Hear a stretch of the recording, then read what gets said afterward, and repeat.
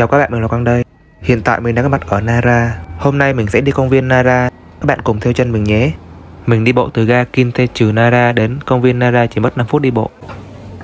Ở sau lưng mình là một cái tiệm bánh mochi rất là nổi tiếng. Mochi là loại bánh làm từ gạo nếp. Bánh mochi ở đây có màu xanh lá cây. Cái màu xanh này là từ lá ngải cứu. Bên ngoài thì họ phủ một lớp đậu đành rang, bên trong nhân đậu đỏ. Bánh nhìn khá là hấp dẫn. Mình sẽ mua cái loại 450 yên ba cái. Xung quanh công viên Nara có rất nhiều cửa hàng bán đồ lưu niệm như thế này và biểu tượng chính là con hươu. Bây giờ thì mình sẽ đến với chùa Horyuchi và trên đường đi thì mình đã thấy rất là nhiều các vị thần bằng đá như thế này. Còn đây là cái nơi mà người Nhật họ sẽ viết những cái điều mà họ mong ước và treo ở đây.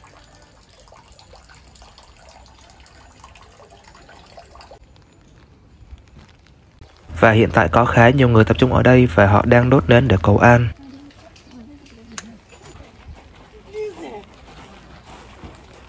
Trước mặt các bạn là ngôi chùa Horuchi. Đây là ngôi chùa bằng gỗ cổ nhất Nhật Bản. Với ngôi chùa Horuchi, bạn không thể bỏ qua một số kiến trúc gỗ quan trọng như tòa kim đường, tháp 5 tầng, cổng trung môn và các hành lang.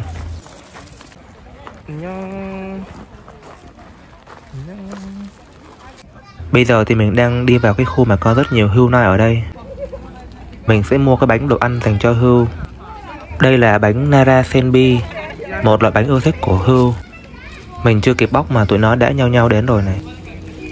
Mắt tay, mắt tay. Mắt tay.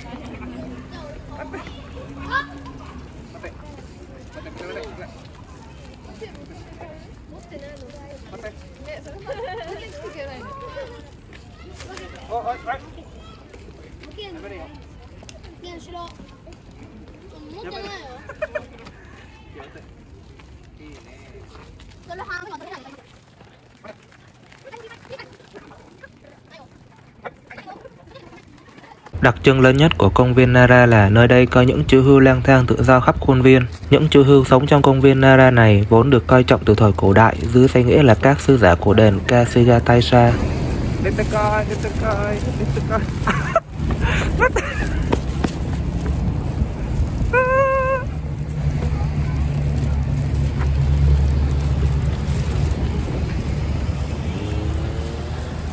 Tuy những chú hươu này thân thuộc với con người, nhưng chúng vẫn là những động vật hoang dã và không được nuôi dưỡng.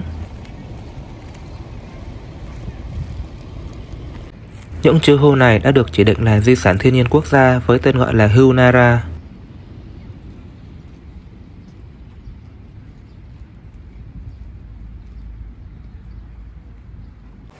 Đây là bản đồ của thành phố Nara.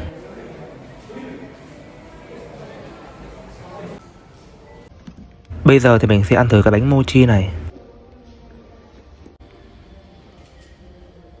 Bánh rất là mềm và thơm các bạn ạ.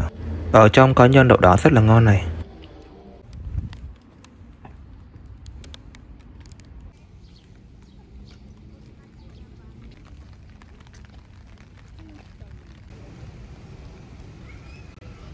Bây giờ thì mình đang đi đến ngôi chùa Todaiji Trước mặt các bạn là cổng chùa Tô Đai Di んばんは。こんばんは。こんばんは。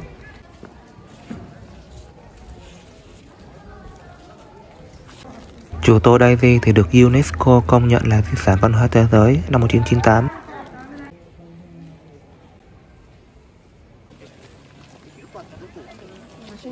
Để vào thăm chùa thì các bạn phải mua vé. Tô Daiji được xây dựng từ khoảng đầu thế kỷ thứ 8 tại cố đô Nara từ thời đại Nara.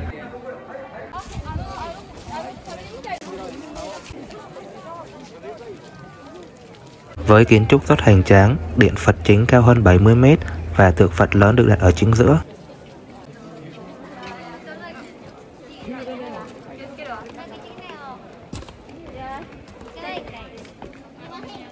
Đây là bức tượng Phật được đặt trong chùa lớn nhất Nhật Bản.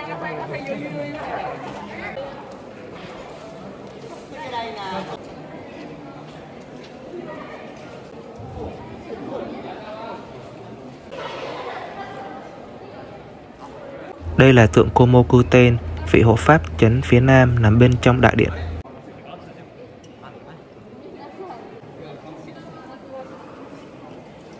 Đây cũng là một vị thần hộ pháp.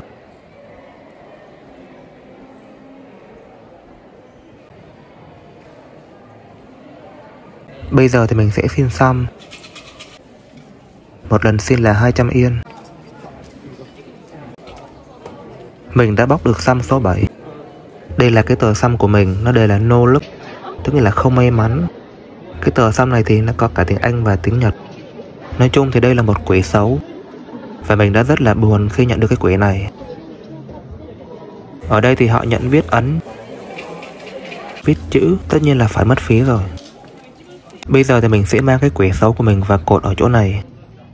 Những ai mà nhận được quỷ tốt thì có thể mang về nhà. Còn khi ta nhận được quỷ xấu thì ta sẽ để cái quỷ này lại chùa. Và ta sẽ cầu cho thần Phật phù hộ chúng ta.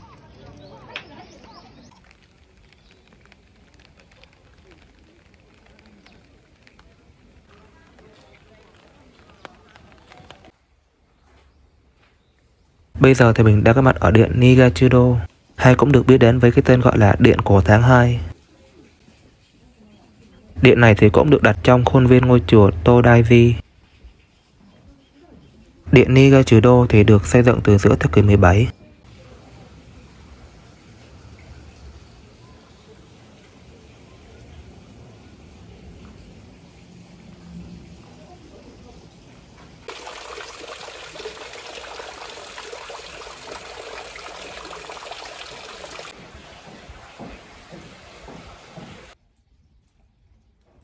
Video đến đây là hết rồi. Các bạn thích thì hãy like và subscribe cho mình nhé. Tạm biệt các bạn.